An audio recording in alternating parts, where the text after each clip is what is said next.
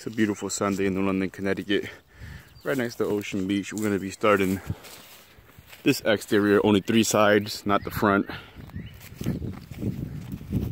We haven't touched this exterior yet. Homeowner had hired a contractor to paint. He couldn't handle it, he left.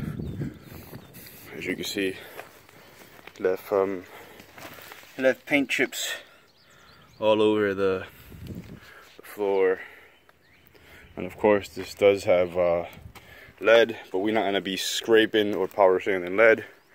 All we're gonna be doing is washing the house down, priming and painting it. So no scraping, no power sanding. Big house.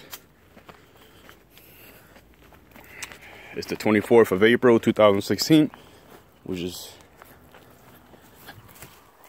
when I start washing the house today by hand because it has lead.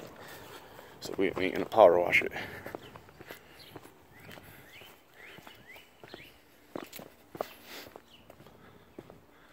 This the rest of the house. All we're gonna do is prime and paint the body in need of uh, painting. And the dormers. Seven in total. Alright, let's get out of here. I'm just, I'm just